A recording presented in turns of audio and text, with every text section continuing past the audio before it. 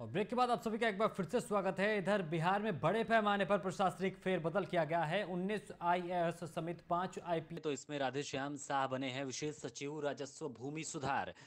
दयानिधि पांडे बने हैं। विशेष सचिव, समाज कल्याण, उदय कुमार सिंह की बात करें तो इनको अपर सचिव, सामान्य प्रशासन बनाया गया है। वहीं हिमांशु कुमार राय, अपर सचिव, मंत्रिमंडल सचिवालय बनाए गए हैं। सुनील कुमार यादव की बात करें तो इनको संयुक्त सचिव, वित्त विभाग बनाया गया है। वहीं वर्षा सिंह बनी है उप विकास आयुक्त कटिहार। मुकुल कुमार बनाए गए हैं डीडीसी जहानाबाद। वहीं अंशुल कुमार की अगर बात करें तो इनको डीडीसी औरंगाबाद बनाया गया है। वैभव चौधरी को डीडीसी नवादा बनाया गया है। वहीं विजय प्रकाश मीणा बने हैं डीडीसी वैशाली।